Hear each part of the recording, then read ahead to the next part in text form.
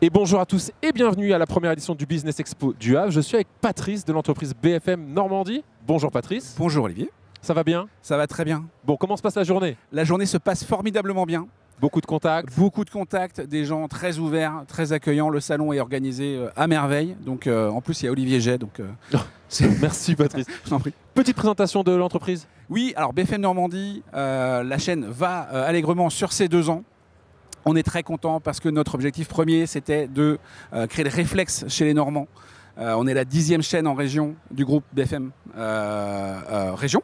La, petite dernière, BFM Normandie, elle a bientôt deux ans donc, et on est en pleine, pleine croissance d'audience, notamment grâce euh, à notre émission de sport du lundi soir. Merci beaucoup.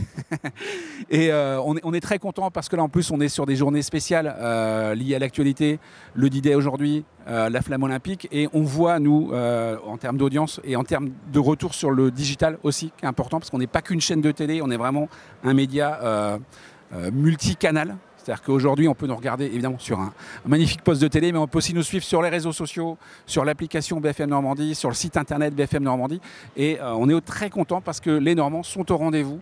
On a réussi à installer la chaîne et à créer le réflexe de je suis Normand, il se passe quelque chose chez moi, je sais que BFM Normandie va en parler, donc je vais aller voir. Voilà. On le voit donc, la priorité de BFM Normandie, c'est la proximité. C'est la proximité, info, service, proximité. C'est euh, notre, euh, notre devise de l'info parce que ben, on est une chaîne d'info.